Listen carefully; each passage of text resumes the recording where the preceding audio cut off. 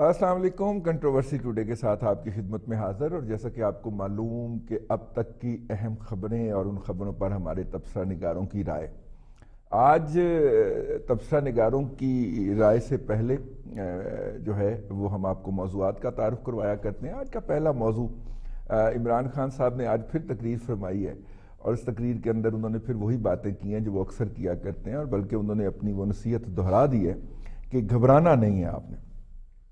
اور ظاہر ہے کہ یہ ان کی بات اس وقت ہمارے سامنے آئی ہے یا جب بجلی اور گیس دونوں کی قیمتوں میں اضافے کی سرکار نے منظوری دے دی بلکہ اوگرا کے سامنے جب گیس کی قیمتوں میں دو سو اکیس پرسنٹ کا معاملہ گیا اور اوگرا نے، عوام کی تو سنتا نہیں ہے وہ، حکومت کو ہی سننا ہوتا ہے اس نے۔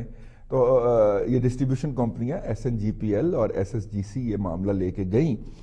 تو حکومت سے پوچھا گیا، تو حکومت نے کہا جی ہو جانے دیں۔ تو اب اس سے اس کے فوراً بعد پھر ان کا یہ کہنا تو بنتا ہے نا، ایک روپے چودہ پیسے ساتھ میں بجلی کی قیمت میں بھی اضافہ ہونے لگا ہے۔ جس کا نیپرا نے نوٹس لے لیا ہے، اور نیپرا نے کہا ہے کہ آپ جو ہے، وہ مہنگے تیل والے بجلی گھر چلوا کے اور سستے ایل این جی والے بجلی گھر بند کر کے بیٹھے ہوئے ہیں، جن کے آپ کپیسٹی چارجز بھی دے رہے ہیں۔ اس کا لاجک ہمیں بتائیں۔ وہ نوٹس جو ہے، وہ دو ہفتے پہلے لیا تھا، اب تک اس پہ کوئی نہ کوئی ایکشن ہو جانا چاہیے تھا، لیکن لگتا ہے حکومت نے دبوا دبو لیا ہے، وہ نوٹس لیکن اس کے اندر جو اہم بات یہ ہے، ایک منسٹر صاحب جن کی حال ہی میں منسٹری تبدیل ہوئی ہے، ان کے تین آئی پی پیز ہیں۔ اور ان کے خلاف جب نیب یہ انکوائری کرنے لگا تھا کہ دو ہزار دو میں تو یہ ایک بڑے ماڈریٹ لوور مڈل کلاس کے آدمی تھے، تو ان کے پاس اتنے پیسے کیسے آئے؟ تو پرائم منسٹر نے اپنے اسپیشل اختیارات استعمال کرتے ہوئے جنوبی پنجاب کے اس اتحادی کے خلاف ہونے والی مبینہ انکوائری جو ہے، اس کو رکوا دیا تھا۔ تو آپ کو پتہ چل گیا ہوگا کہ حکومت کے قائم رہنے کے لیے ضروری ہے کہ یہ مہنگی بجلی بنانے والے آئی پی پیز چلے اور سستی بجلی بنانے والے آئی پی پیز بند رہیں اور اس کی کاسٹ آپ اور میں ادا کریں۔ لیکن گھبرانا نہیں ہے، کیونکہ آج انہوں نے پھر کہا ہے کہ گھبرانا نہیں ہے۔ یہ ہمارا آج کا موضوع ہے۔ اور اس کے اندر جو انہوں نے حقائق بیان کیے ہیں، وہ کس حد تک ریلائبل ہیں؟ خاص طور پہ جو انہوں نے مہنگائی کی وجوہات بیان کی ہیں، کہ جی تیل کی قیمت بڑھ گئی ہے، پتہ نہیں کہاں بڑھی ہے انٹرنیشنل مارکیٹ میں تو کم ہوئی ہے۔ اور دوسرا انہوں نے کہا جی پام آئل کی قیمت بڑھ گئی ہے۔ میرا خیال ان کو پھر کوئی غلط فیڈ کر گیا یہ وہی بندہ ہے جس نے انہیں بتایا تھا کہ پام آئل سے بجلی بنتی ہے۔ کیونکہ پام آئل کی قیمت جو ہے، وہ آدھی رہ گئی ہے تقریباً جو جب یہ برس اقتدار آئے تھے۔ اس وقت جو مجھے یاد پڑتا ہے، چھ ساڑھے چھ سو ڈالر پر میٹرک ٹن تھا۔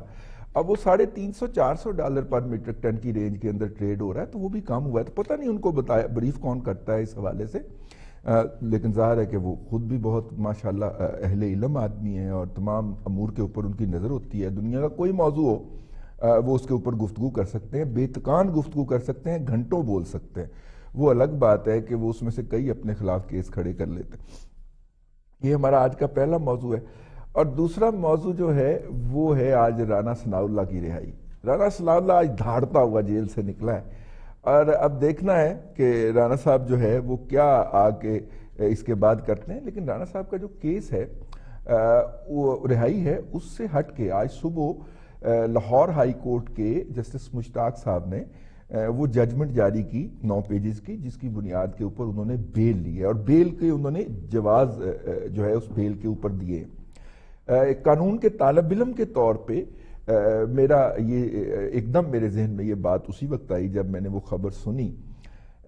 کہ جج صاحب جو ہیں، انہوں نے بیل کی میرٹ اور ڈی میرٹ کے ساتھ ساتھ کیس کے میرٹس اور ڈی میرٹس کو بھی ڈسکس کر دیا۔ وہ کیس جس کا ابھی تک چلان مکمل سبمٹ نہیں ہوا۔ اور انہوں نے اگر ہم اس ججمنٹ کی روشنی میں لیں تو اس کیس کو پورا ہی اڑا کے رکھ دیا۔ ظاہر ہے کہ انہوں نے وہ فیکٹس ریکارڈ کیے ہیں آزم نظیر تارڑ صاحب کے تھرو آزم نظیر تارڑ صاحب جو تھے، وہ رانا ثناء اللہ کے وکیل تھے، بڑے سیزنڈ لائر ہیں۔ جب ہم نے صحافت شروع کی تو انہوں نے وکالت شروع کی تھی۔ اور پاکستان کے اس وقت ابھرتے ہوئے مرجنگ لائرز کے اندر ان کا بڑا احترام سے نام لیا جاتا ہے۔ تو انہوں نے ان کے جو فیکٹس تھے وہ ریکارڈ کیے جج صاحب نے، لیکن ڈسکس تو ہو گئے، کیونکہ ظاہر ہے کہ آپ نے جب ان فیکٹس کو انڈورس کر دیا ایک سپیریئر جوڈیشری کے جج نے، تو کیا اب ٹرائل کورٹ جو ہے وہ اس کا ایک پراپر ٹرائل کر پائے گی؟ میرے ذہن میں ایک سوال ہے جو آج ہم اپنے پینلسٹ کے ساتھ رکھیں گے۔ آج کے پینلسٹ کا آپ سے تعارف کرواتے چلیں۔ آج ہمارے ساتھ موجود ہے خالد فاروقی صاحب سینئر صحافی، بڑے متین اور سنجیدہ قسم کے صحافی ہیں، مسکراتے بھی کم کم ہی ہیں اور ایڈیٹر ہیں کالم نگار ہیں، تبصرہ نگار ہیں۔ اور بہت شکریہ آپ کا تشریف لانے کا۔ اور ان کے ساتھ تشریف رکھتے ہیں جناب حرل صاحب ایڈوکیٹ ہیں ہائی کورٹ کے اور قانون کے نقطوں کے اوپر بڑی نظر رکھتے ہیں جناب غلام عباس حرل صاحب۔ بہت شکریہ۔ اور ان کے ساتھ ہمدم درینا جناب ارسلان رفیق بھٹی صاحب، یہ انہیں نا میں ہیٹر کے سامنے سے اٹھا کے لایا ہوں، کیونکہ یہ کشمیر اور ناردن ایریاز کا چکر لگا کے ہیں اور ٹھٹرے ہوئے ہیں ابھی تک۔ بہت شکریہ آپ کا بھی۔ اور اسلام آباد میں آج بڑی ینگ لک دے رہے ہیں ہمارے جناب ممتاز بھٹی صاحب جو ہیں۔ اور ممتاز بھٹی صاحب سینئر صحافی، تجزیہ نگار اور دن میڈیا گروپ کے بیورو چیف بھی ہیں اور روزنامہ دن کے ریزیڈنٹ ایڈیٹر بھی ہیں۔ بہت شکریہ بھٹی صاحب، آپ کا بھی جوائن کرنے کا۔ آج عمران خان صاحب نے تقریر کی، yet another speech Imran Khan صاحب کی جو ہے، فاروقی صاحب۔ آپ نے ظاہر اخبار بھی بنانا ہوتا ہے، تو کیا پوائنٹ نکالیں گے؟ کیا ہیڈ لائن نکالیں گے اس میں سے؟ ان کی تقریر کا ہر نقطہ ہی جو ہے وہ الگ سے اچھی خبر ہے۔ اور اچھا۔ جب ظاہر ہے کہ پرائم منسٹر ہیں وہ جو بھی باتیں کریں گے بڑی امپورٹنٹ کریں گے۔ اور جب پاکستان کے عوام کی دکھتی رگ پر وہ ہاتھ رکھتے ہیں تو پھر زیادہ اس پہ توجہ دیتے ہیں۔ کچھ زیادہ ہی توجہ دے دیتے ہیں۔ مطلب جب وہ کہتے ہیں گھبرانا نہیں تو قوم پھر سوچتی ہے کہ گھبرانا تو ہم نے چھوڑ دیا۔ آپ کا گھبرانا دیکھ رہے ہیں۔ ٹھیک ہے۔ تو بس یہ ہے کہ انہوں نے کچھ تو ایک تو جو کشمیر کی صورتحال پہ انہوں نے آرمی چیف کی توجہ دلائی ہے انہوں نے کہا کہ جناب میں نے ان کو بتا دیا ہے کہ وہاں مودی کچھ نہ کچھ ایسی حرکت کر سکتا ہے۔ تو یہ تو انہوں نے بڑا اچھا کیا انہوں نے بتا دیا ان کا کام صرف بتانا ہی تھا۔ بتانے کی حد تک ہے وہ جا کے سلامتی کونسل میں بھی بتانے کی حد تک رہے تھے۔ انہوں نے پھر بہت کچھ بتا دیا ملائیشیا کو بھی ترکی کو بھی۔ تو جو کچھ بتائے اس کے بعد عمل کرنے کی جب باری آئی تو پھر تھوڑا سا پیچھے ہٹ گئے۔ باقی زیادہ تو ان کی جو گفتگو ایک جو ہے وہ پاکستان کی صورتحال کے بارے میں اور مہنگائی کے بارے میں ہے اور عوام کو تسلی دینے کے بارے میں ہے۔ اور نئے سال کا وہ استقبال کرنا چاہتے ہیں۔ ترقی سے ابھی کچھ دن پہلے بھی انہوں نے یہ کہا تھا کہ ٹوئنٹی ٹوئنٹی جو ہے یہ ترقی کا سال ہوگا۔ تو میں یہ سوچتا ہوں یا باقی لوگ بھی میرا خیال ہے میری طرح جو ہے وہ وہ یہی سوچتے ہیں کہ کس طرح سے پرائم منسٹر یہ بات کر دیتے ہیں کیسے کہتے ہیں؟ جو ہمارے پاس جو عداد و شمار ہیں عالمی مالیاتی اداروں کے پاکستان کی صورتحال پر جو اسٹیٹ بینک کی نظر ہوتی ہے اور جو دوسرے ہمارے جو ادارے ہیں ادارہ شماریات ہے وہ جب ہمیں بتاتا ہے کہ مہنگائی بہت زیادہ بڑھ چکی ہے بے روزگاری حد سے زیادہ ہے۔ اسٹیٹ بینک آف پاکستان کی رپورٹ بھی یہی بالکل میں یہی کہہ رہا ہوں کہ درامداد جو ہے ہماری وہ ان میں کوئی ایسی کمی نہیں آ سکی جو درامداد میں کمی جس کا ہم ڈنڈورا پیٹتے ہیں۔ وہ کون سی درامدات ہوتی ہیں، کون سی ہم کس چیز کی درامت کو روکتے ہیں، تو ہم اسے اپنی درامدات میں کمی کہتے ہیں۔ کیا اس، ان درامدات میں کمی کے نتیجے میں ہماری ساری جو انڈسٹری ہے، کیا وہ جیم ہو رہی ہے؟ کیا ہمارے یہاں پہ کوئی کام ہو رہے ہیں، ترقیاتی کام ہو رہے ہیں؟ ہم جو مشینری منگوانا چاہتے ہیں، وہ بھی ہماری درامدی امپورٹنٹ مشینری ہوتی ہے۔ اگر ہم اس طرح کی درامدات کم کر کے اپنی درامدی، برامدی پالیسی کو سہارا دینے کی کوشش کرتے ہیں۔ تو میرا خیال ہے یہ کہیں بھی اچھا سائن نہیں ہوتا۔ اچھا اسی طرح سے پرائم منسٹر نے جو مہنگائی کی وجوہات بیان کی اور جو انہوں نے بتایا وہ حیران کن ہے۔ سمجھ میں تو آتا ہے لیکن بات صرف اس کی نشاندہی کرنے کی نہیں ہے۔ جب پرائم منسٹر یہ کہتے ہیں کہ منی لانڈرنگ یعنی وہ ڈالر کی جو ملک سے جانا ہے اس کے بارے میں اب بھی بات کرتے ہیں۔ تو اب یہ تو پرائم منسٹر سے سوال کیا جا سکتا ہے کس نے ہے مطلب ہاں۔ کہ یہ ڈالر جو ہے اس کو باہر جانے سے روکنا کس نے ہے اب یہ ڈالر کون بھجوا رہا ہے؟ اور کسی کس کی ملی بھگت سے یہ ڈالر باہر بھجوائے جا رہے ہیں؟ کون کون اس میں انوالو ہے؟ اور اگر اب بھی حکومتی مشینری اس میں انوالو ہے تو حکومت کس کی ہے؟ تو پرائم منسٹر اس کا جواب ضرور قوم کو دیں۔ میرے خیال انہیں بتانا چاہیے کہ جناب یہ یہ لوگ اب بھی انوالو ہیں اور یہ لوگ اب بھی جو ہے منی لانڈرنگ میں مصروف ہیں۔ تو یہ اس کا جواب تو کوئی نہیں آتا۔ پھر وہ روپے کے بارے میں بتاتے ہیں روپیہ ڈی ویلیو ہو رہا تھا۔ اب روپے کو مجھے نہیں سمجھ آ رہی کہ روپے کو ویلیو وہ کس طرح کہتے ہیں کہ مل گئی ہے۔ اگر وہ روپیہ ایک سو اسی روپے ایک سو ڈالر جو ہے ایک سو اسی روپے کا کر دیتے تو اس کے بعد ڈالر روپیہ جو ہے وہ ایک سو ساٹھ پہ آ جاتا۔ تو پھر کیا ہم سمجھتے ہیں کہ روپیہ جو ہے ڈی ویلیو ہونے سے رک گیا۔ پھر روپیہ اب بھی ڈی ویلیو ہے یہ تو تب کی بات ہے اگر ہم سمجھیں کہ روپیہ جو ہے کم از کم اس کو ڈالر کے مقابلے میں ایک سو تیس کی حد تک یہ آ جائے تو پھر ہم کہیں کہ پاکستان میں کچھ مہنگائی کی شرح جو ہے یہ کم ہو سکتی ہے۔ اگر یہ روپیہ ایک سو چون تک ایک ڈالر جو ہے ایک سو چون روپے کا ایک سو پچپن روپے کا یہاں پہ رہے گا اور وہ بھی میرے خیال کے مطابق یہ کوئی یہ کوئی ضروری نہیں ہے کہ ڈالر جو ہے وہ اسی جگہ پہ سٹے کرے۔ ڈالر تو اس لیے یہاں پہ ہے کہ کیونکہ ہمیں بیرونی قرضے جو ہیں وہ ہم لیتے جا رہے ہیں۔ وہ ہمارے خزانے میں آ رہے ہیں، سو ڈالر جو ہے اس کو استحکام تھوڑا ملا ہوا ہے۔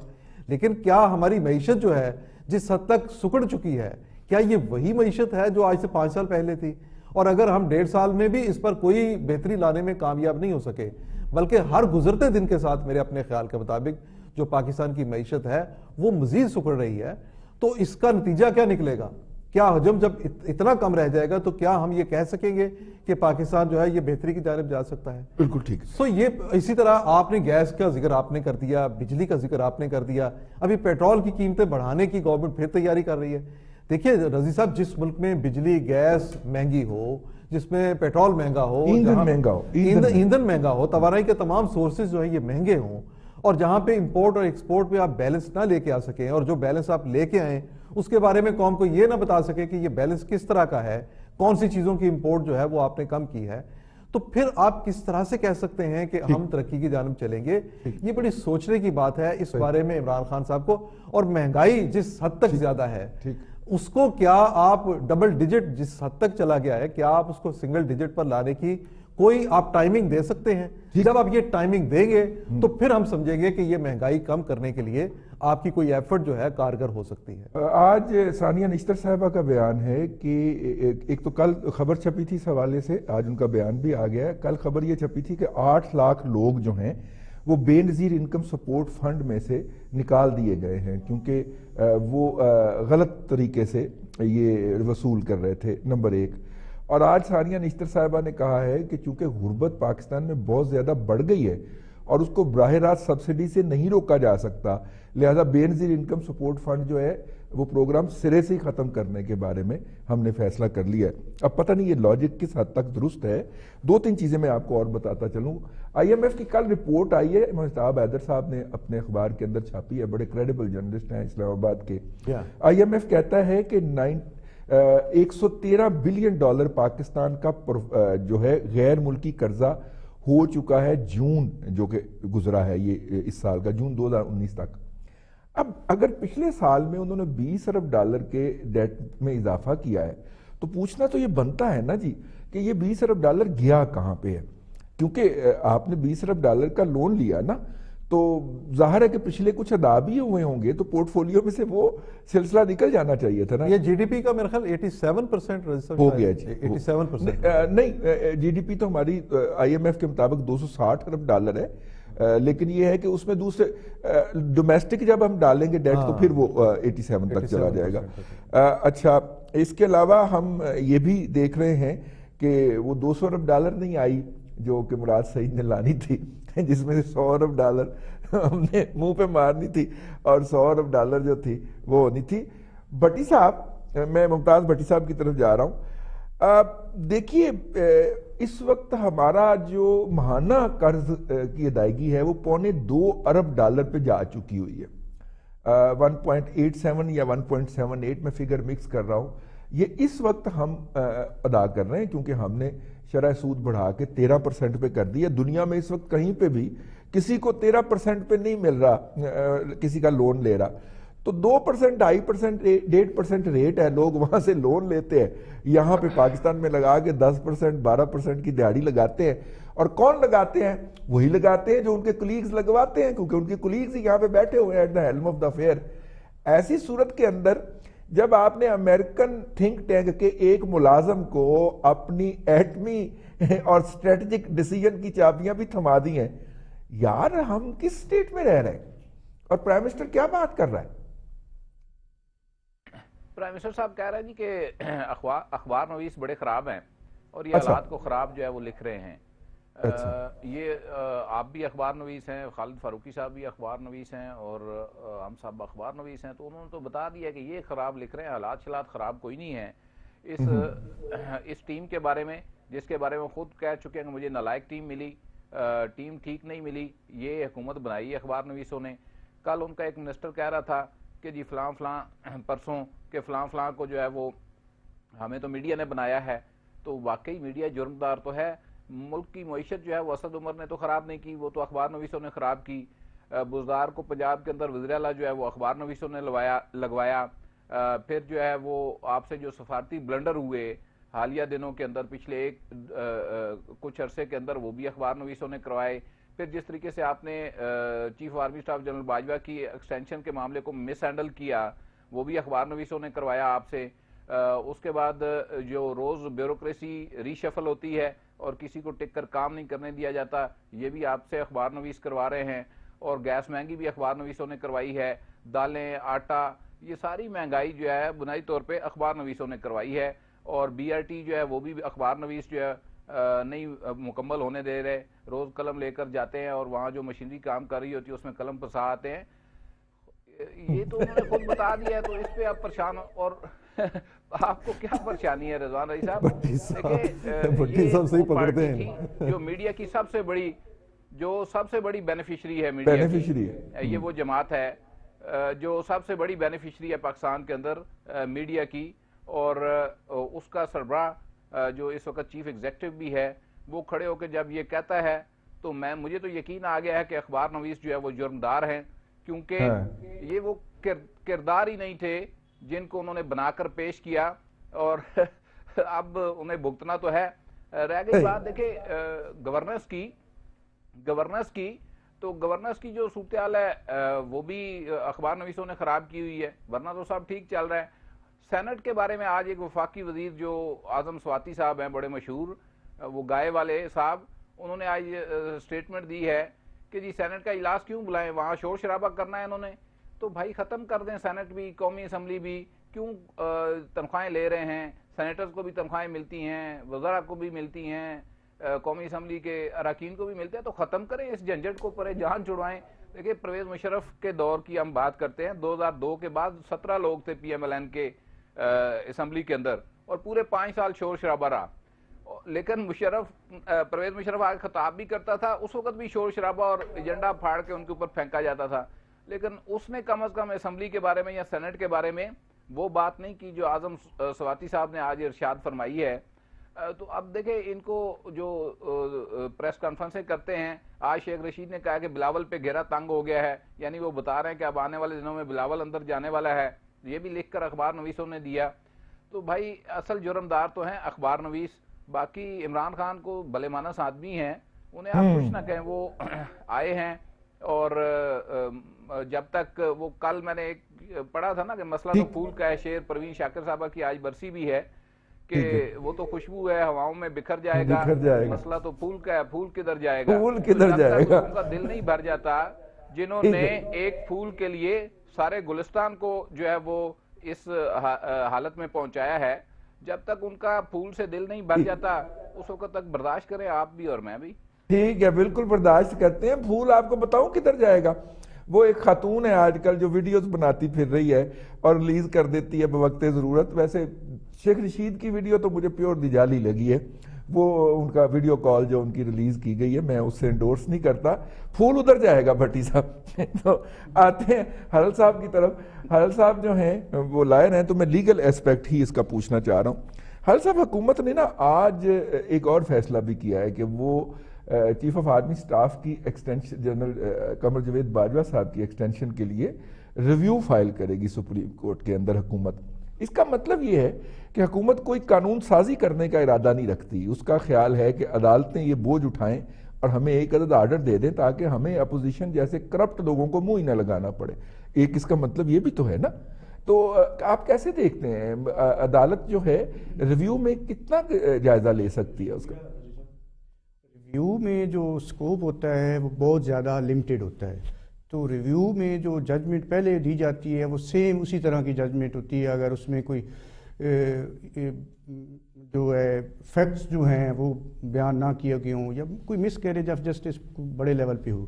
لیکن عام روٹین میں جو ریویو ہے اس کا کوئی سکوپ نہیں ہوتا، وہی سیم میں تو سمجھتا ہوں کہ جو تھوڑا بہت نظریہ ضرورت اس میں تھا وہ بھی ختم ہو جانا چاہیے اس میں۔ ریویو میں۔ اچھا۔ اب دوسری بات جو آپ فرما رہے تھے وزیر اعظم صاحب کے حوالے سے اب رضی صاحب دیکھیں وزیر اعظم صاحب جب سے آئے ہیں ان کا ایک ہی فرمان ہے۔ وہ کہتے ہیں کہ یہ جو معیشت تباہ ہو گئی ہے بے روزگاری آ گئی ہے مہنگائی آ گئی ہے اس کی صرف اور صرف ایک ہی وجہ ہے کرپشن اب انہیں ستارہ ماہ ہو گئے ستارہ ماہ ان کو ہو گئے ہیں، تب سے کرپشن بھی بند ہے، سارا کچھ بند ہے، تو تب سے عوام بیچاری ہے، وہ بے روزگاری بھی بڑھ رہی ہے، مہنگائی بھی بڑھ رہی ہے۔ آج ہی وزیر اعظم صاحب کہہ رہے ہیں کہ معیشت بہتر ہو رہی ہے۔ اور آج ہی آپ دیکھ رہے ہیں، آٹے کے تھلے کا ریٹ بڑھ گیا ہے، ساری دالوں کے ریٹ بڑھ گئے ساری چیزیں مہنگی ہوگی بجلی ہوگی ہر چیز مسر ساڑھے چار سو روپے کلو ہو گئے۔ نہ کھائے بھائی ہماری جو معیشت ہے کنٹرولڈ ہے آئی ایم ایف نے اس کو کنٹرول کیا ہوا ہے اور ہم جو ان کے امریکہ کے مین آدمی ہیں وہ ہماری معیشت کے اوپر بیٹھے ہوئے ہیں۔ ہاں۔ تو اس صورتحال میں وہ اپنا جو ہے مفاد سب سے پہلے دیکھیں گے اور پاکستان کا مفاد اور پاکستان کی عوام کا جو مفاد ہے یا ان کو ریلیف وہ بعد میں دیں گے وہ سب سے پہلے اپنا اس میں بہتری دیکھیں گے۔ تو اس میں میرا تو خیال ہے یہ حکومت کا کوئی جو آپ نے پہلے وہ ریویو پٹیشن والی بات کی ہے اس میں ریویو پٹیشن میں حکومت کو جانا نہیں چاہیے تھا۔ یہ آپ نے سارے دیکھی ہیں جتنے بھی ریویو جی۔ ہوتے ہیں ججمنٹس اس میں کوئی سکوپ نہیں ہوتا وہ سیم ہی فیصلہ آتا ہے۔ بلکہ میرا خیال ہے کہ جو اس میں پوائنٹس رہ چکے ہوتے ہیں کہیں ہاں۔ جن کو جن کے بارے میں گورنمنٹ یہ سمجھتے ہیں کہ ہم یہاں کچھ وضاحت نہیں کر سکے۔ وہ چیزیں شاید اس میں ایڈ کر دی جاتی ہیں کسی نقطے کی وضاحت کورٹ سے لی جاتی ہے۔ اس میں اس میں ایک اور بھی استدا کی گئی ہے اس ریویو پٹیشن میں کہ یہ فل بینچ بنایا جائے۔ بھائی فل بینچ کیسے بنا سکتے ہیں؟ ریویو پٹیشن جو ہوتی ہے اسی پیرامیٹر کے اندر ہوتی ہے۔ وہی جج صاحبان سن سکتے ہیں۔ آپ جیسے کھوسا صاحب ریٹائرڈ ہو گئے ہیں اس کے بعد جسٹس گلزار صاحب جو نئے چیف جسٹس صاحب ہیں وہ۔ سنیں گے اور وہی تین جج صاحبان کا بینچ ہوگا اس کے زیادہ وہ یہ تو یا تو شروع میں یہ استدا کرتے اب استدا کا کوئی فائدہ نہیں اس طرح کی کہ اس کو فل کوٹ بنا دیں بالکل ٹھیک ہے۔ ظاہر ہے کہ انہوں نے جو پوائنٹ ٹیکنیکل لیے ہیں ہم دیکھیں گے اور ویسے بھی حکومت نے ساتھ میں یہ استدا بھی دی ہے کہ اس کی رپورٹنگ کے اوپر پابندی لگائی جائے اور اسے کیمرہ ان کیمرہ رکھا جائے۔ لیکن چونکہ حل صاحب جو ہیں وہ پچھلی دفعہ بھی وہاں پہ موجود تھے سپریم کورٹ میں اور اس دفعہ بھی یقیناً جائیں گے۔ ہم ان سے پوچھ لیں گے کہ کیا ہوا وہاں بڑی انٹرسٹنگ وہ پرسیڈنگ ہوتی ہے ساری کورٹ میں اور کافی ساری باتیں تاریخ رقم ہو رہی ہوتی ہے۔ اور دیکھنے کو ملتی ہے جو کبھی سوچ بھی نہیں سکتا صحیح کہہ رہے ہیں۔ آپ تاریخ وٹنس کر رہے ہوتے ہیں جو اس وقت ہو رہی ہوتی ہے۔ بھٹی صاحب ٹونٹی ٹونٹی آ رہا ہے۔ اور کپتان نے کہہ دیا ہے کہ ٹونٹی ٹونٹی جو ہے وہ بہت بہتری کا سال ہے۔ ویسے جب یہ کرکٹ کھیلتے تھے اس وقت ٹونٹی ٹونٹی ہوتا تھا۔ نہیں نہیں صاحب اس وقت ٹوئنٹی ٹوئنٹی کوئی نہیں تھا ہوتا اس وقت ففٹی ففٹی ہوتا کیا پتا؟ نہیں ففٹی ففٹی تو ہوتا اچھا ففٹی ففٹی ہوتا تھا۔ سکسٹی ہوتا تھا پہلے پھر ففٹی ففٹی ہو گیا۔ لیکن میں اس وقت سے جو ہے نا پروگرام شروع ہونے وقت اب آپ نے بات شروع کی ہے اس کے بعد سے میں سوچ رہا ہوں کہ میں بھی پام آئل سے آئی پی پی لگا لوں ایک۔ اچھا۔ مل کے کسی کی دوست یار کی منت کروں دو چار بزنس مین میرے دوست ہیں بڑے اچھے۔ اچھا۔ مجھے کہتے ہیں ارسلان یار کچھ پیسے چاہیے کاروبار داس پیسے کاروبار داس پیسے ہیں نہیں۔ تو وہ پام آئل سے میں اس وقت سے سوچ رہا ہوں کہ بجلی بنے گی کیسے؟ کیونکہ کھانے میں تو وہ دنیا میں ٹیکنالوجی دستیاب نہیں ہوئی ابھی۔ نہیں وہ کر لیں گے ہم۔ اچھا، بلال گنج سے۔ اگر جرمنی اور جاپان کی ایک تو وہ ہے۔ دوسرا وہ کہتے ہیں جی کہ ٹوئنٹی ٹوئنٹی نوکریوں کا سال ہے آپ لوگوں نے گھبرانا نہیں ہے۔ ہم۔ بالکل نہیں گھبرا رہے نوکری میں مل جائے گی اب بیس میں۔ بس رہ گئے ہیں پچھلے چار پانچ دن۔ آپ کو پتا ہے وہ واڈا جو ایک کریکٹر ہے ہمارا شاید وفاقی وزیر ہے جی جی جی۔ وہ بھی یہی کہتا پھر رہا ہوتا تھا کہ نوکریاں بڑی ہوں گی ڈیڑی والا ٹیکس دے گا آپ ہاں کو ہاں۔ وہ کدھر گیا ہے ویسے؟ صاحب ریڈی والا تو ٹیکس دے رہا ہے۔ دیکھیں میں بار بار آپ سے یہ کہتا ہوں کہ ریڈی والا جو صابن خریدتا ہے نا لائف بوائے کا یا وہ لکس کا اس کے اوپر قیمت لکھی ہوئی ہے اور اس کے اندر ٹیکس ایڈڈ ہے۔ ہم کیسے کہہ سکتے ہیں جی کہ ہماری کون ٹیکس نہیں دیتی ہے؟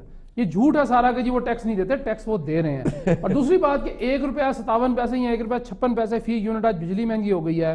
اس کے بعد وہ آپ نے بتایا جی تیل بھی مہنگا کر رہے ہیں۔ تو بھائی پام آئل سستا ہو گیا تھوڑا سا آپ کے بقول ویسے میں آپ کو بتاؤں پام آئل سے بجلی کیسے پیدا ہوگی وہ جی۔ ابھی پروڈیوسر صاحب نے میرے کان میں جی، جی۔ کی ہے پام آئل سے بجلی اس طرح پیدا ہوگی آپ نے ایک بوتل کا کولڈ ڈرنک کا اشتہار دیکھا ہوگا کہ جس میں وہ گاڑی بند ہو جاتی ہے تو وہ وہ پھر کولڈ ڈرنک پی کے تو ناچتا ہے۔ تو ناچتا ہے تو پھر اتنی بجلی پیدا ہوتی ہے کہ وہ گاڑی چارج ہو جاتی ہے۔ بٹی صاحب کی بٹی صاحب کی بات کے درمیان اور رضی صاحب وہ ایک غالب کے آپ اشعار کا پوچھ رہے تھے تو ایک مصرع ہے مغز کو باغ میں جانے نہ دیجیو کہ ناک خون پروانے کا ہوگا۔ تو مغز شہد کی مکھی کو کہتے ہیں۔ جی جی, جی۔ وہ کہا شہد کی مکھی باغ میں جائے گی ہاں۔ وہاں جا کے شہد بنائے گی۔ ہاں۔ شہد سے وہ جو ہے وہ موم بنے گی۔ موم بتی موم سے وہ پروانہ موم جلے گا تو وہ پروانہ بھی جل جائے گا۔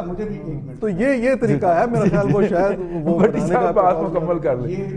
سوری ایک منٹ میں بڑی صاحب آپ کا ایک منٹ یہ جو ایک وزیر جو ہے وہ اللہ کا نام لے کے لیتا ہے۔ اور دوسرا وزیر جو ہے درود پڑھ کے اور تیسرا جو ہے وہ اللہ کو جان دے کر اور وزیر اعظم صاحب جو ہے وہ تسبیح ہاتھ میں پکڑ کے جھوٹ بول رہے ہیں یہ سارے چلے چلے بڑی سٹیٹمنٹ دے دی آپ نے لیکن رئیس صاحب اس میں یہ ہے کہ جی ایک تو وہ آئی پی پی لگا لیتے ہیں آپ اور باقی جتنے جو دوست ہمارے ہیں جس جس جتنے جتنے پیسے ملیں گے وہ مل کے وہ لگا لیں دوسرا وہ کہتے ہیں جی گھبرانا نہیں ہے، ہم سارا کچھ ٹھیک کر رہے ہیں، اگلے سال نوکریاں بھی مل جائیں گی، معیشت بہتر ہو جائے گی۔ مجھے ایک بات سمجھ نہیں آ رہی ہے کہ کیا جو دالیں ہیں، کیا جو روزمرہ کی اشیاء ہماری ضروریات کی ہیں، وہ کیا ڈالروں میں خرید رہے ہیں ہم؟ پتہ نہیں کیا ہو رہا ہے۔ اگر فصل کام ہو رہی ہے تو قوم کو بتائیں کہ جی فصل کام ہو گئی، نقصان ہو گیا، یا دھند اتنی زیادہ آ گئی ہے، سیاسی دھند تو خیر ہے ہی ہے، جب سے سولہ سترہ ماہ سے باقی بھی کلیئرنس نہیں ہو رہی ہے، کیا کریں؟ اب وہ یہ ہے کہ بجلی مہنگی کرنے کے بعد آپ کے میں نے آج اپنا بجلی کا بل دیا ہے۔ نہیں رہی صاحب ابھی میں ابھی نہیں میں آپ کی بات سنوں گا۔ ہاں۔ میں بل کے بعد آپ کی بات اچھا کے بعد۔ پچھلے سال میں نے نومبر میں ہاں۔ جو بل دیا تھا جی وہ تھا میرا بتیس سو چھیاسٹھ روپے۔ اچھا۔ اس دفعہ میں بل دے کے آ رہا ہوں جی چھیاسٹھ سو بیاسی روپے۔ میرے یونٹ جو ہیں وہ تین سو ایک پچھلے سال چلے تھے تین سو ایک اس دفعہ چل گئے ہیں۔ اسی مہینے اسی مہینے میں۔ اب مسئلہ یہ ہے کہ اگر آپ ڈبل میں بجلی کا بل دے رہا ہوں تو بھائی بجلی مہنگی کرنے کی ضرورت کیا ہے؟ میں تو ٹیکس دے رہا ہوں۔ اس میں چھ قسم کے ٹیکس نیلم جیلم سرچارج ابھی تک میرے پہ لگا ہوا ہے۔ جو کہ بند کے سٹارٹ بھی ہو گیا۔ وہ ختم ہو گیا ہے یا نہیں ہوا؟ چلیں بند ہو گیا ہوگا۔ دھند بہت زیادہ وہاں پہ نا۔ آزاد کشمیر میں دھند بڑی تھی۔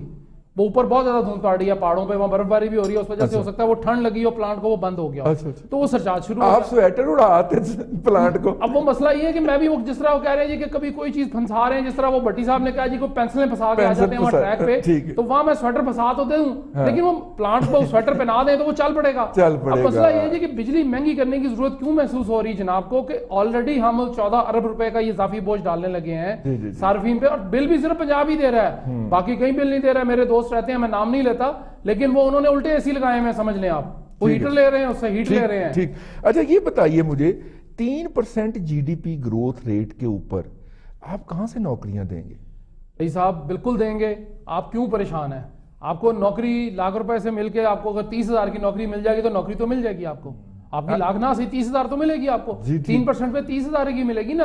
لیکن اب ایک بات یاد رکھیں ہم وہ چھوٹے ہوتے میرے نا دادا اللہ بخش فرمایا کرتے تھے کہ پتر تسی پانی بھی خرید کے پینا ہے ہم خرید کے پینا شروع ہو گئے ہیں۔ اور اب ہماری جو تنخواہیں ہیں وہ دو ہزار دو ہزار ایک دو چار پہ چلی گئی ہیں۔ جتنی ہماری تنخواہ ہوگی اور جتنا مہنگائی ہے وہ جو ہے دو ہزار پچاس تک ڈیڑھ سو روپے کی ڈبل روٹی تھوڑے دن میں ہو جائے گی۔ جس حساب سے آپ بتا رہے ہیں نا کہ آٹا اور گندم مہنگی ہو رہی ہے۔ بجلی گیس کی گیس مہنگی ہو رہی ہے۔ روٹی ابھی چھ روپے کی جو ملتی ہے نا جی وہ ساٹھ گرام یا ستر گرام کی روٹی کا پچیس گرام ہونی چاہیے۔ جبکہ وہ بعض علاقوں میں سات سات آٹھ روپے کی وہ نے کون ہے۔ جی کہ روٹی چھوٹی وہ کہتا جی آپ ڈبل والو بارہ روپے والی وہ پورے گرامج دی تم دے دیں گے۔ پورے وزن کی دے دیں گے۔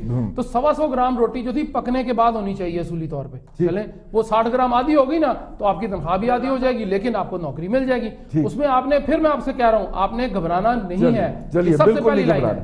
بھٹی صاحب تسی بھی نہیں گھبرانا ممتاز بھٹی صاحب تسی بھی نہیں گھبرانا۔ جی جی جی جی۔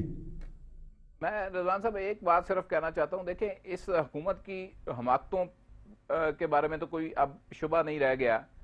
لیکن میں میری یہ ذاتی ایک ہے کہ دیکھیں ادارے اس ملک کے ہیں اور اداروں کے معاملات کو زیر بحث میڈیا کے اوپر لانا مناسب نہیں ہے۔ اور یہ پہلی دفعہ ایک چیز انہوں نے اچھی کی ہے کہ انہوں نے کہا کہ ان کیمرہ اس کو سن لیں۔ اس سے جو ہے نا جو حالات اس وقت پیدا ہو چکے ہیں اگر اس کو زیر بحث لایا جائے گا تو میں یہ سمجھتا ہوں کہ یہ پاکستان کا فائدہ نہیں ہے۔ پاکستان ہمارا ملک ہے اور اس کی خاطر جو ہے وہ اگر کوئی چیز ہم گریز کر سکتے ہیں تو کر لینی چاہیے۔ بالکل ٹھیک ہے.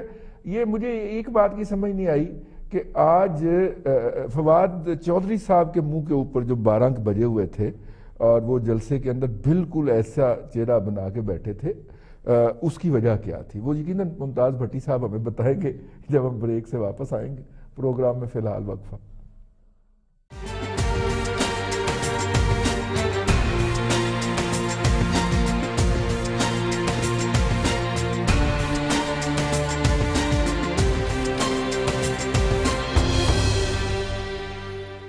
ویلکم بیک کنٹروورسی ٹوڈے کے اندر آپ کو ایک مرتبہ پھر خوش آمدید کہتے ہیں۔ پرسوں شارٹ آرڈر آیا تھا ہائی کورٹ سے۔ رانا ثناء اللہ صاحب جو پاکستان مسلم لیگ نون پنجاب کے صدر ہیں، ان کا آج اس کی تفصیلی ججمنٹ بھی آ گئی ہے۔ اس کے اندر جج صاحب نے اگرچہ اس سے پہلے حکومت اپنا ریاکشن کئی مرتبہ دے چکی تھی اور آج پھر انہوں نے ریاکشن دیا ہے۔ اور میرا خیال ہے کہ وہ ریاکشن جو ہے، وہ توہین عدالت کے، اگر اندر فال نہیں کرتا تو بالکل فینس پہ تو ضرور کھڑا ہوا ہے، خاص طور پہ جو فردوس عاشق اوان صاحب فرما رہی ہیں اور مسلسل فرما رہی ہیں۔ اس سے کم ریاکشن کے اوپر عدالتوں نے تلال چودھری اور اس طرح کے دوسرے لوگوں کو ڈسکوالیفائی کیا ہے۔ یہ تو یہ بالکل جسے کہنا چاہیے بلیٹنٹ قسم کی کنٹیمپٹ آف کورٹ ہے۔ اب پتہ نہیں اس کا نوٹس کیوں نہیں لیا جا رہا، لیکن ہیونگ سیڈ دیٹ آج خالد فاروقی صاحب رانا ثناء اللہ صاحب گھر چلے گئے۔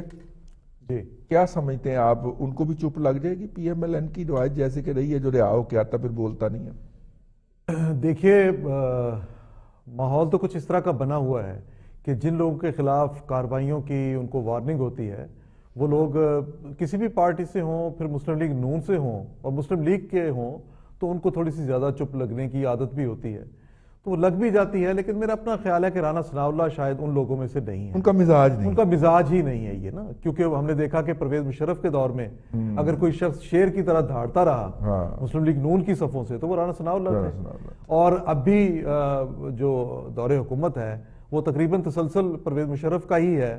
تو اس میں بھی اگر کوئی شخص ہے جو سب سے زیادہ جس جن کو پریشان کرتا تھا اور سب سے زیادہ جس سے وہ رجات کی بات کرتے تھے وہ رانا ثناء اللہ جیسے لوگ تھے اور رانا ثناء اللہ بلکہ تھے۔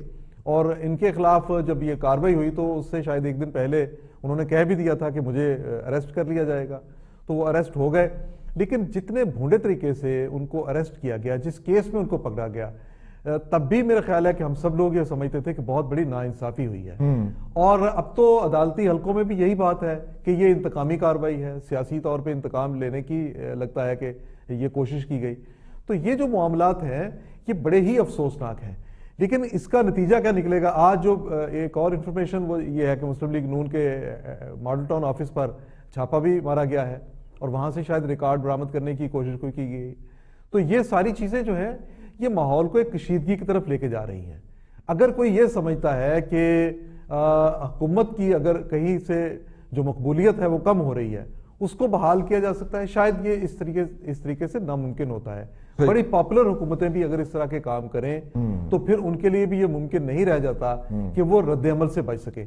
تو رانا ثناء اللہ کو میرا نہیں خیال کہ چپ لگے گی۔ رانا ثناء اللہ کو ایک غلط مقدمے میں اچھا اب یہ دیکھیے ہم اس وقت اگر بیٹھ کے یہ کہتے ہیں کہ یہ غلط مقدمہ ہے تو ہمارے پاس ظاہر اس بات کا کوئی ثبوت نہیں ہے کہ یہ مقدمہ غلط ہے۔ لیکن مثال اس کی یہ ہے کہ جو منشیات کیسز ہیں اس میں شاید کورٹس جو ہے یہ اس طرح ضمانت نہیں لیتی۔ جی جی بڑا ریئر ریئر ہے یہ۔ لیکن جس طرح سے اس کیس میں ضمانت لی گئی اور جس طرح کورٹ نے اپنے تفصیلی فیصلے میں اس کی وضاحت کی اور جس طرح کورٹ نے یہ کہا کہ آپ نے جو ثبوت فراہم کرنے تھے وہ فراہم نہیں کیے جو کچھ آپ نے وہ جو ریکوری کا جو میمو تھا وہ تیار کرنا تھا وہ نہیں کیا یہ سارا کچھ اگر وہ نہیں ہو سکا اور ہمارے منسٹر اگلے دن بیٹھ کے اللہ کو جان دینی ہے کہ جی۔ اعلانات کرتے رہے اور اب وہ میڈیا کو منہ دکھانے کے قابل نہیں رہ گئے۔ تو یہ سارا کچھ تو خود ان کا اپنا کیا ہوا ہے۔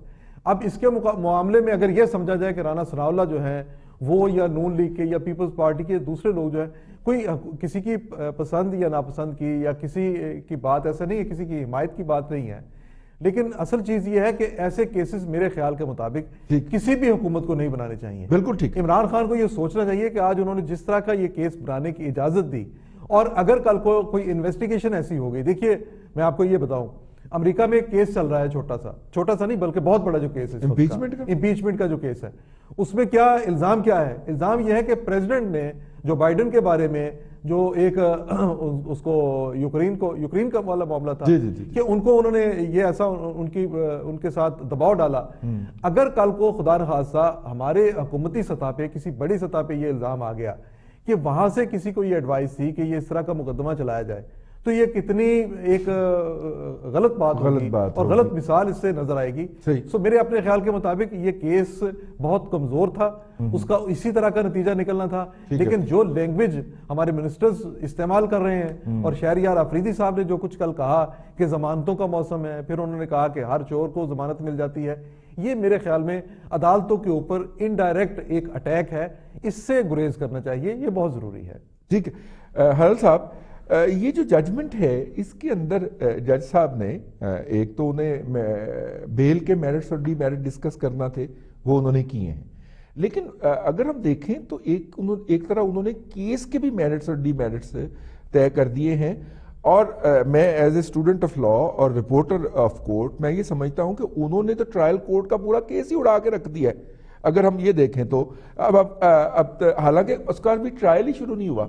تو کیا آپ سمجھتے ہیں کہ یہ جو ججمنٹ ہے یہ ہانٹ کرے گی ٹرائل کورٹ کو گوئنگ فارورڈ جی صاحب میں بطور وکیل یہ عرض کر دوں کہ جو ضمانت مل جانا ہے وہ اس کا مطلب یہ نہیں ہوتا کہ ٹرائل آپ کا یا کیس ختم ہو گیا۔ بالکل۔ ضمانت اس گراؤنڈ پہ اور یہ بھی بتانا بہت ضروری ہے کہ کچھ افینسز ہوتے ہیں کچھ جو بیلیبل ہوتے ہیں جن میں بیل جو ہوتی ہے وہ as a matter of right ہوتا ہے۔ اور کچھ ہوتے ہیں افینسز جس میں یہ رانا اللہ صاحب کے اوپر جو افینس تھا اس کے بعد مرڈر کیسز ہوتے ہیں وہ non able non bailable offences ہوتے ہیں جی۔ اور ان میں بھی ان میں بھی کورٹس بیل گرانٹ کرتی رہتی ہیں اس میں سارے کیس کو اس کی ایف آئی آر کو اور اس کے بعد جو ریکارڈ ہوتا ہے کورٹ کے پاس اس کو پیروز کر کے اس میں اگر دیکھتی ہے کہ اس میں کوئی میلا فائڈی ہے کوئی اس میں کوئی بینیفٹ آف ڈاؤٹ نظر آ رہا ہے پراسیکیوشن کی ورشن میں کمپلینٹ میں، تو وہ اس کا جو فیور ہے، وہ اس کو دیتی ہے اکیوز کو اور اس کو بیل گرانٹ کرتی ہے۔ اس میں کیا ہوا ہے، جو رانا اللہ والا کیس ہے، اس میں آپ دیکھیں جو یہ نارکوٹک کیسز ہوتے ہیں، اس میں جب بھی کوئی کہیں ریڈ کیا جاتا ہے یا جو جس طرح انہوں نے کہا کہ ہم نے راوی ٹول پلازا پہ ریڈ کیا تو وہاں پہ ان کا ریکوری میمو بنانا بہت ضروری تھا۔ موقع کیسز میں ہوتا ہے۔ تو اس کے بعد اب یہ وہ نہیں بنایا تھانے میں آ کے تو ریکوری ڈال جی وہ یہ اس میں وہ موقف حکومت لے رہی ہے کہ وہاں پہ نقص امن کا خطرہ تھا۔ دیکھیں وہاں پہ جو ریڈنگ پارٹی صاحب نے وہ بھی آرگومنٹ اڑا جی۔ دیا۔ انہوں نے کہا آپ ہاں۔ تیئیس یا بتیس افراد تھے آپ مسلح تھے تو آپ کے سامنے نقص امن کیسے جی بالکل۔ جی, جی۔ بالکل۔ اس میں جو ریڈنگ پارٹی ہے اس کے تیس بتیس لوگ تھے یا بیس لوگ تھے یہ جو رانا ثناء اللہ کے پاس تھے وہ پانچ چھ لوگ تھے اس میں نقص امن کا کوئی خطرہ نہیں تھا۔ اور ان کو وہاں پہ جو ریکوری میمو بنانی تھی یا ریکوری پروسیڈنگ تھی وہاں پہ انڈیپینڈنٹ لوگ۔ اور یہ واضح لکھا ہوا ہے کہ وہاں پہ انڈیپینڈنٹ لوگوں کو وٹنس بنایا جائے تاکہ وہ کل کو عدالت میں پیش ہو سکے تاکہ کوئی کوئی کسی کے اوپر اس طرح کا جو اتنا بڑا الزام ہے وہ یا کل کو ثابت ہو سکے کوئی انڈیپینڈنٹ وٹنس ہو۔ اور اس کے بعد جو ایک اور جج صاحب نے اس میں اس میں جو بات کی ہے انہوں نے کہا ہے کہ اوپن سیکرٹ چونکہ رانا ثناء اللہ صاحب جو ہیں وہ ووکل پولیٹیکل لیڈر ہیں اپوزیشن کے۔ تو وہ چونکہ اس میں جو اس کو بھی انہوں نے یہ بالکل اس میں لکھا ہے صاحب نے کہ اس بات کو نظر انداز نہیں کیا جا سکتا کہ پاکستان کی جو ہسٹری ہے اس میں پولیٹیکل وکٹیمائزیشن ہوتی ہے۔ اور جو بھی کوئی اپوزیشن میں جو یہ ہسٹری ہے جو بھی کوئی ووکل پولیٹیکل لیڈر ہوتا ہے جو زیادہ بولنے والا ہوتا ہے سپوکس مین ہوتا ہے آؤٹ سپوکس پرسن ہوتا ہے اس کو وکٹمائز کرنے کے لیے ایسے کیسز بنائے جاتے ہیں۔ اس بات کو نظر ووکل جرنلسٹ کو نہیں چھوڑتے وہ اس کو پکڑ کے لے جاتی ہے۔ اور اس میں اور اس میں ایک اور بات بہت ہی زیادہ ضروری ہے اہم بات ہے۔ آپ دیکھیں انہوں نے یہ جو ان کا ورشن تھا پرسیکیوشن کا تھا یہ رانا صاحب جو ہیں وہ نارکوٹکس سمگلنگ میں انوالو ہیں۔ اور اور ایک پورا نیٹ ورک چلا رہے ہیں۔ جی نیٹ ورک چلا رہے ہیں۔ یہ لاجک سمجھ نہیں آیا۔ ان کے جو کو کیوز تھے اس کیس کے ان کی جب بیل ٹرائل کورٹ نے دی ہے تو وہاں پہ تو اینٹی نارکوٹکس نے اس کو اپوز ہی نہیں کیا۔ میں وہی میں اور ان کی بیل کو صرف اپوز کیا جی جی میں وہی عرض کر رہا ہوں میں بڑا حیران ہوں۔ اگر تو ان کا کوئی نیٹ ورک ہے ان کو مزید انویسٹیگیٹ کرنا چاہیے تھا۔ ان کا انہوں نے ریمانڈ لینا چاہیے تھا۔ استدا کرنی چاہیے تھی کورٹ سے جو انہوں نے اس دن کی نہیں ہے۔ اب ان کا کوئی اتنا بڑا نیٹ ورک ہے ان کو چاہیے تھا کہ ان کو وہ نیٹ ورک یا تو یا تو آپ انویسٹیگیٹ کرتے ہاں۔ اور جتنے بھی لوگ ان کے نیٹ ورک میں شامل ہیں ان کو بھی ساتھ شامل نہیں صاحب دو صورتیں نا یا تو انہوں نے وہ نیٹ ورک پہلے کر لیا ہوا تھا اور اگر وہ پہلے انہوں نے اپروٹ کر لیا تھا تو اس کا اس کے چلان کے اندر ذکر کیوں نہیں ہے؟ جو انہوں نے چلان سبمٹ کیا ہے رضی صاحب اس میں ایسی کوئی انہوں نے ایویڈنس ایسی کوئی بات نہیں دی ایسی کوئی ایویڈنس نہیں لیکن ابھی وہ چلان ساتھ لگانے سب اس میں بیس گرام چرس جو ہے نا ہاں۔ وہ بیس گرام آگئی ہے۔ وہ سیمپل کے لیے ٹیسٹ کے لیے بھیجی وہ سیمپل کے لیے سیمپل کے لیے بھیجی تھی۔ ہاں، اگر کوانٹٹی اتنی بڑی تھی نا جی تو اس کا مطلب اس کے ملٹیپل سیمپل جانے چاہیے۔ کلو میں سے بیس گرام جو اور انفارچونیٹلی جو ایف آئی آر کی کہانی انہوں نے بنائی ہے وہ بھی کوئی اتنی پلوزیبل نہیں ہے۔ اچھا اور یہ جو ہے نا جب جج صاحب نے یہ سارا کچھ دیکھا ہے انہوں نے دیکھا ہے کہ میل آف آئی ڈی تو دیکھیں نا اب رانا صاحب ابھی ٹرائل چلے گا ایویڈنس آئے گی اس کے بعد فیصلہ آئے گا۔ کسی آدمی کو کسی آدمی کو بغیر کنوکشن کے اتنے دن اندر رکھنا یہ بھی مناسب نہیں یہ بھی مناسب نہیں یہ بھی مناسب نہیں ہے اور اور یہاں پہ تو ایسا ہوتا ہے کہ پہلے پکڑ لیتے ہیں بعد میں ایف آئی آر دیتے ہیں۔ آپ اگر مغرب میں چلے جائیں یا کہیں اچھے کسی اور ملکوں میں چلے جائیں تو وہاں پہ سوائے ہیریسمنٹ کے جی۔ کوئی بھی ایسے افینس نہیں ہے جس میں پہلے جو ہے ارسٹ کر لیتے ہیں بعد میں انویسٹیگیٹ ہیریسمنٹ میں بھی ریسٹریننگ آرڈر دیے جی، جاتے جی۔ ہیں۔ جی بالکل۔ اس میں پہلے ممتاز پھر انویسٹیگیشن ممتاز بھٹی صاحب یہ بھی تو ہو سکتا ہے نا کہ انوکھے لاڈلے نے کھیلنے کو چاند مانگا ہو کہ میں نے اسے مونچھوں سے پکڑ کے جیل میں گھسیٹنا ہے۔ تو اداروں نے کاروائی ہی ایسی ویک کی ہو کہ چلیں کوئی پندرہ، بیس دن، پچاس دن، سو دن یہ گھسیٹ لے تو اس کے بعد آرام سے اس کی رہائی ہو جائے۔ کیس ہی ویک بنایا ہو اینٹی نارکوٹکس فورس نے، ایک پہلو یہ بھی تو ہو سکتا ہے۔ اگر ایسا ہے تو یہ بڑا خوفناک ہے اور بڑا ہی شرمناک ہے۔ اگر ایسی بات ہے تو میرا خیال ہے کہ پھر اداروں کی کریڈیبلٹی جو ہے وہ کوشچن ہو جاتی ہے۔ اور یہ یہ تو میں تو اس کو سوچ بھی نہیں سکتا کہ کوئی ادارہ اس طرح سے ایک قومی ادارہ جس کو ایک general officer general officer head کر رہا ہو اور وہ اس طرح کرے۔ ایک بات، دوسری بات، دیکھیں رضوان صاحب، رانا ثناء اللہ کے پولیٹیکل کنڈکٹ کے اوپر بہت سوال اٹھتے ہیں۔ ہم اٹھاتے رہے، دس سال وہ منسٹر رہے اور بڑے طاقتور منسٹر تھے نواز شریف کے دور میں۔ ہم نے بہت زیادہ تنقید بھی کی اور ان کے اوپر سوال بھی اٹھائے۔ میں ان کو اس وقت سے جانتا ہوں چونکہ فیصلہ آباد میری وہ رائے ہے وہاں پہ تعلیم پڑھتے رہے وہاں پہ؟ ایک طویل عرصہ جو ہے میں نے وہاں گزارا ہے۔ تو میں نے اس وقت سے جانتا ہوں جب یہ پیپلز پارٹی کے ایکٹیوسٹ ہوتے تھے اور نواز شریف کے لوگوں کو پھینٹا لگایا کرتے تھے۔ دیکھیں، اب چار چھ چیزیں۔ ایک تو یہ کہ پہلے عمران خان صاحب نے دنیا کا کوئی بندہ نہیں چھوڑا اپنا مخالف، جس کو انہوں نے یہ نہ کہا کہ میں تمہیں یہ کر دوں گا، وہ کر دوں گا۔ ان کے بارے میں بھی انہوں نے کہا کہ مونچھوں سے پکڑ کے جو جملہ وہ بڑا مشہور سارے چینل چلا بھی۔ سیکنڈلی یہ جب کاروائی کی گئی، جب یہ کیس بنا، تو اس کے اندر خود اتنے شکوک و شبہات تھے اور جس طریقے سے یہ ریڈ کنڈکٹ کیا گیا، پھر پھر اس کو میڈیا کے اوپر لڑا گیا، کیس کو۔ حکومت نے اس کو خود میڈیا پبلسٹی دی۔ وزیر صاحب بیٹھ گئے ساتھ ڈی جی این ایف کو لے کر اور انہوں نے ایک پریس کانفرنس میں اتنی متنازع باتیں کر دی کہ مزید جو ہے وہ معاملہ خراب ہو گیا۔ تو اب کیس کے میرٹس کم وہ تو جائی صاحب نے ڈسکس کر دی ہیں۔ اپنی جو بڑی میرا خیال ہے کہ کمپریہنسو جو ہے انہوں نے کیس کا جائزہ لیا ہے۔ آج اے این ایف نے پھر بلایا ہوا تھا جرنلسٹوں کو اور بریف کیا ہے اور افسوس کا اظہار کیا ہے اس فیصلے کے اوپر۔ انہوں نے کہا جی کہ ہمارے پاس فوٹیج ان کی جو ریکی کی ہے، وہ موجود ہے، جو مانیٹر کیا جاتا رہا ان کو۔ اور پھر انہوں نے کہا کہ سپریم کورٹ میں چیلنج کریں گے۔ یہ اے این ایف کہہ رہی ہے اب۔ تو پہلی بات تو یہ کہ اگر یہ کوئی کیس تھا، تو جن لوگوں نے اس کیس کو خراب کیا، ان کے خلاف اب تک کیا کاروائی کی گئی؟ یا ان کی کم از کم زبان بندی تو جو ہے وہ کروا دینی چاہیے تھی کہ مزید خراب نہ کریں اس کیس کو؟ رہ گئی بات دیکھیں، پہلے دن سے اس کیس کے اوپر ہر انڈیپینڈنٹ آدمی نے سوال اٹھائے اور بہت سارے لوگوں نے اپوزیشن کے لوگوں نے باقی جماعتوں کے اور حکومت کے اندر کچھ لوگوں نے بھی اس کے اوپر جو ہے وہ آف دا ریکارڈ گفتگو کی، اور ان کا واضح یہی تھا کہ ان حالات کے اندر جبکہ رانا ثناء اللہ کو معلوم ہے کہ وہ ان کو مانیٹر بھی کیا جا رہا ہے، اور ان کو یہ بھی معلوم ہے کہ ان کے پیچھے لگے ہوئے ہیں اور باقی محکموں کو بھی کہا گیا کہ ان کے خلاف کیس بنائیں۔ تو ان حالات کے اوپر وہ کیسے ایک بیگ لے کر پھر سکتے ہیں؟ یہ وہ سوال تھا جو سب سے زیادہ ڈسکس ہوا میڈیا کے اوپر۔ ہمیں میرا خیال ہے کہ کیس کے فیصلے کا انتظار کرنا چاہیے۔ کیس جو ہے یہ کسی نہ کسی کے گاٹے میں فٹ ہونا ہے۔ رضوان رضی صاحب یہ کیس ایسے جائے گا نہیں۔ دیکھیں رانا اللہ کی جو اپنی گفتگو ہے نا میں ایک صرف ایک مجھے دو چار جملے اور دے دیں۔ وہ بڑی امپورٹنٹ ہے۔ جو انہوں نے زیر حراست جو ہے وہ میرے خیال پیشی کے موقع پر کی تھی۔ انہوں نے کہا تھا کہ چیف جسٹس اور چیف آف آرمی سٹاف مجھے انصاف دیں۔ انہوں نے خود نومینیٹ کر دیا ہوا ہے عمران خان کو اس کیس کے اندر جو ان کی اس گفتگو کا لب لباب ہے۔ اس جی۔ میں کہ جی مجھے وکٹمائز کیا جا رہا ہے۔ تو اس کیس نے برکیف کورٹ آف لا کے اندر اگر پروو نہیں ہو کر سکتی پروسیکیوشن یا تحقیقاتی ادارہ تو پھر یہ کافی مہنگا پڑے گا۔ اور یہ اس طرح خالی نہیں جائے گا۔ خالی نہیں جائے گا۔ کسی نہ کسی کے اوپر اس کا ملبہ پڑے گا۔ اب وہ رانا سناولا پہ ڈالنے میں کامیاب ہو جاتے ہیں یا کیس بنانے والوں پہ پڑتا ہے لیکن پڑھنا ہے کسی نہ کسی پہ۔ بالکل ٹھیک ہے۔ ارسلان بھٹی صاحب دو ہزار پانچ میں مسٹر کیتھ جو کہ چیف ٹرینر ہیں سی این این کے میں نے پہلی ٹریننگ میڈیا کی ان سے حاصل کی۔ ٹھیک ہے۔ اس کے بعد فرینکفرٹ جرمنی کے اندر ایک اور ٹریننگ ہمیں میڈیا کے لیے ادارے کی طرف سے بھیجا گیا دو ہزار آٹھ کے اندر۔ ٹھیک ہو گیا۔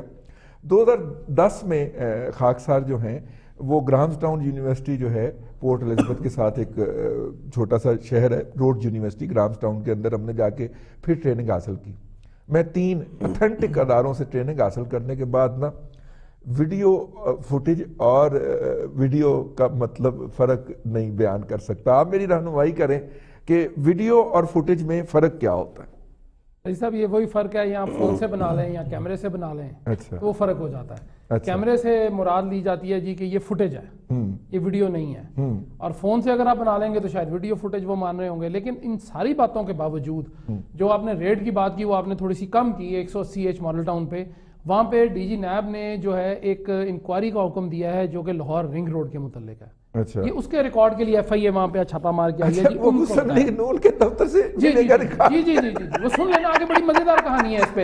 اب ان کی ایک ہارڈ ڈرائیو وہ لے آئے۔ یار جعلی ڈگری والا ہے یہ مسئلہ یہ ہے کہ اس ہارڈ ڈرائیو کے اندر تو جو پتہ نہیں کیا ملنا ہے کیا نہیں ملنا۔ لیکن جو لاہور رنگ روڈ ہے وہ تو اچھا۔ بنائی ہے ایف ڈبلیو او نے۔ جی۔ کیونکہ شباز شریف تو کسی پہ اعتبار کرتے ہی تھے ٹول بھی اس وہی لے رہے ہیں ٹول بھی وہی لیتے ہیں وہ ہاں جی۔ سارے کے ساری ان کے ذمہ ہیں تو شہباز شریف کے دفتر کبھی بھی اعتبار نہیں کرتے۔ تھے سول اداروں پہ اتنے ان کا اعتبار ہی نہیں رہا ہاں۔ جتنا کہ ان کو میں جانتا ہوں ہاں۔ اب مسئلہ یہ تھا کہ وہ تو یہ کہتے تھے کہ نہیں نہیں یہ کام ان کو کرنے نہیں ان کا کام ہے ہاں۔ وہ تو ہر جب جب بھی کوئی ٹھیکہ ہوتا تھا تو وہ کہتے تھے ایف ڈبلیو کو بیچ میں ڈالو جی۔ ان سے کہو جی کہ وہ کتنے میں یہ کام کرتے ہیں ہاں۔ ہر میٹنگ میں ہم نے کئی دفعہ میٹنگز اٹینڈ کی تو اس میں یہی کچھ ہوا خیر وہ کہہ رہے ہیں جی وہ کر لیں اس کے بعد بی آر ٹی منصوبہ ہے پشاور کا۔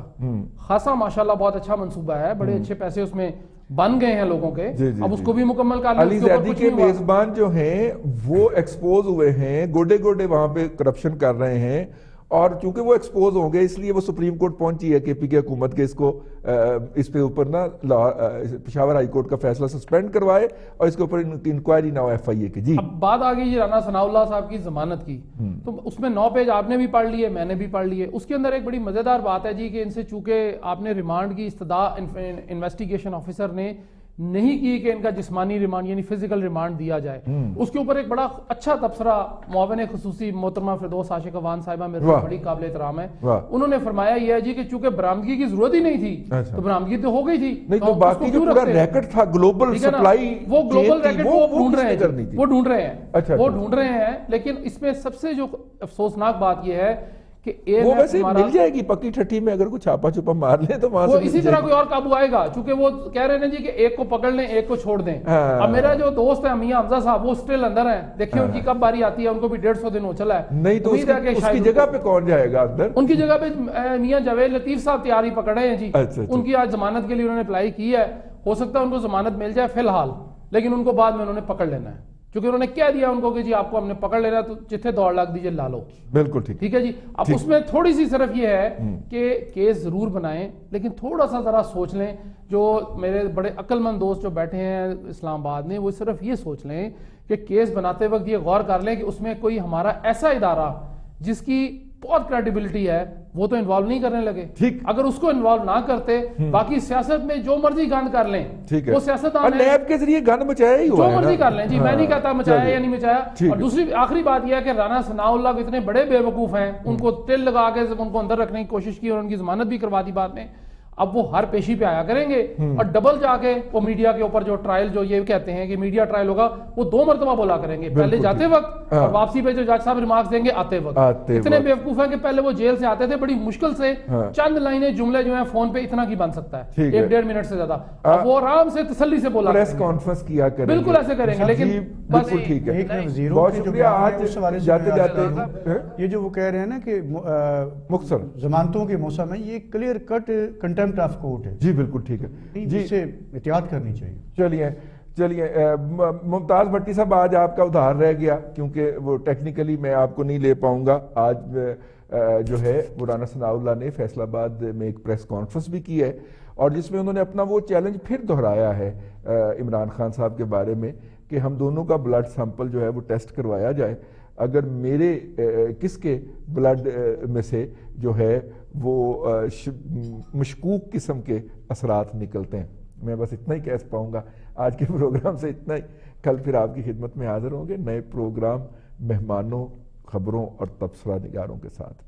اپنا خیال رکھیے گا۔ اللہ حافظ۔